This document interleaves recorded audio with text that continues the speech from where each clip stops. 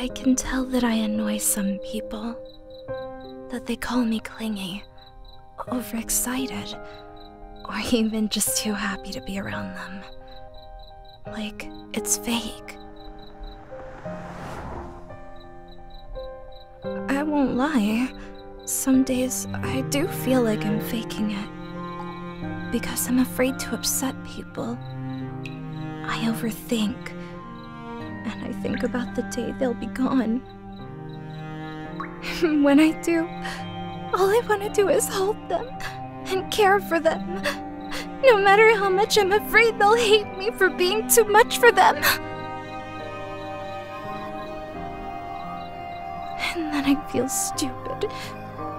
Because they'll never see that side of me. What my existence is. And they'll always feel right. And when I reach that point, I go home to let out my feelings, where I feel like I can do that without being judged. And some days,